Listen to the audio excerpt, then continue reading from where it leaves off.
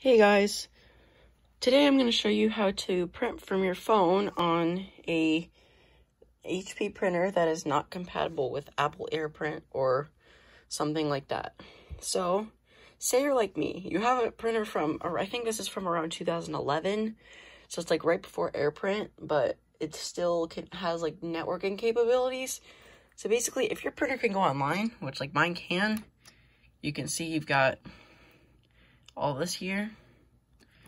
So if it can do that, then you can you can do this.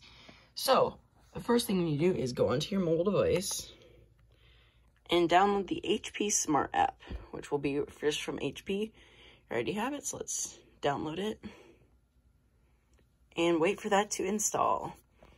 So, really, all you need is you like your printer to be set up and connected to your home Wi-Fi network like mine is and to make sure that your device is on the same network as it.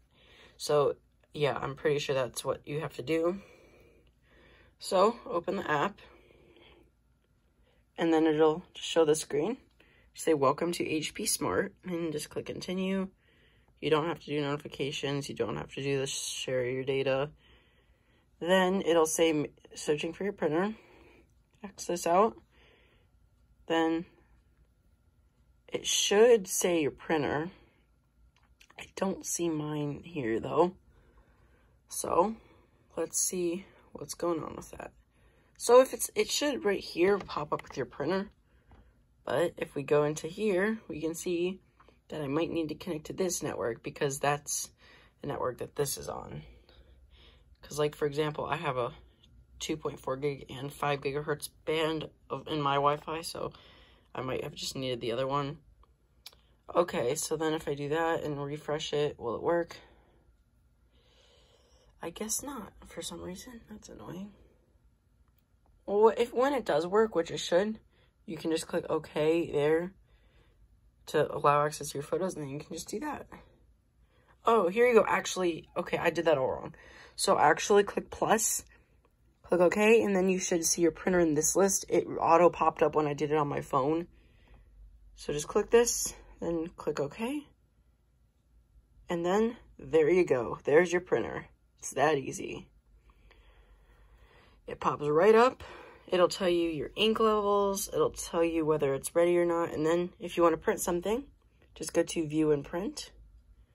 And then you can go through a few different articles to look. I'm just going to do a random thing.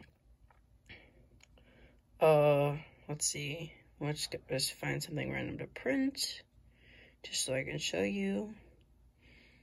Uh, okay, let's do this random apple background. So you see this, you just tap this, and then down here you click print, and then you click print again.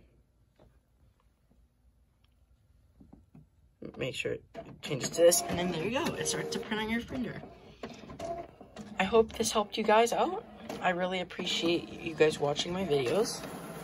Please remember to comment, like, and subscribe for more. And I hope that I will see you guys in the next video. So you can stop watching now if you want, but if you guys want to see it print, then you can just keep watching now. This might take a little while since, again, this is a nine-year-old printer, so yeah, it's not going to do the best when it comes to speed.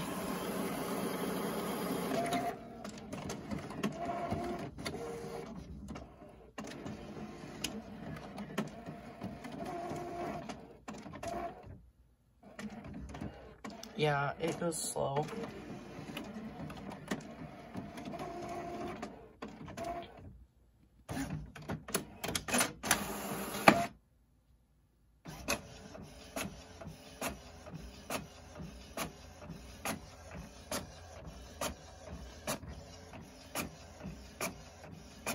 As you can see, it prints it right out.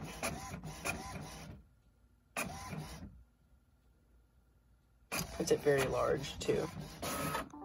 And there you go. So, I will see you guys in the next video.